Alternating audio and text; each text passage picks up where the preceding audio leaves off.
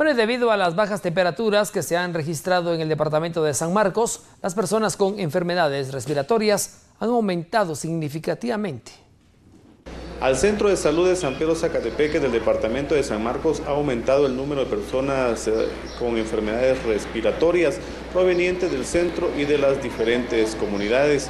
Esto se debe a las bajas temperaturas, según se informó en este centro asistencial. Y realmente sí se ha, visto un aumento con respecto a, este número de pacientes. Por ejemplo, si miramos, hacemos un, promedio de unos 10 pacientitos, 8 eh, de cada 10 pues vienen por problemas respiratorios.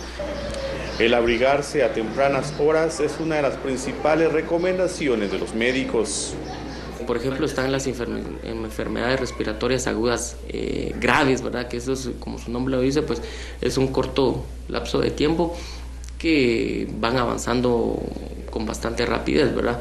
Pero sin embargo, eh, volvemos al tema de los dos extremos de la vida, ¿verdad? Por ejemplo, las neumonías y las bronconeumonías, que esto sí en un momento dado, si no se acuden adecuadamente a un servicio de salud, pues sí pueden conllevar a la muerte, ¿verdad? Según se informó, asisten entre 90 a 100 personas diarias a consulta en este centro asistencial, de las cuales el 75% se debe a enfermedades respiratorias.